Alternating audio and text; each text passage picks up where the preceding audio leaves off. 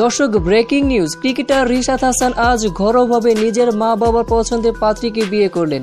বিস্তারিত জানতে ভিডিওটি না টেনে শুরু থেকে শেষ পর্যন্ত দেখুন। বর্তমান বিশাল আলোচনায় আছে রিশাদ। তার কারণ অল্প কিছুদিন হলো বাংলাদেশ জাতীয় দলে অভিষেক হয়েছে তার।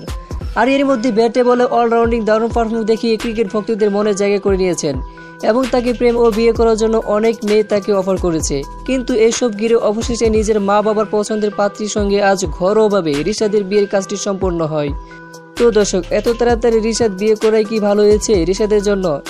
এই বিষয়ে আপনাদের মতামত জানিয়ে দিন আমাদের কমেন্ট বক্সে আর হ্যাঁ আপনি যদি আমাদের চ্যানেলে নতুন দর্শক হয়ে থাকেন, তাহলে অবশ্যই চ্যানেলটি সাবস্ক্রাইব করে পাশেই থাকুন। ধন্যবাদ।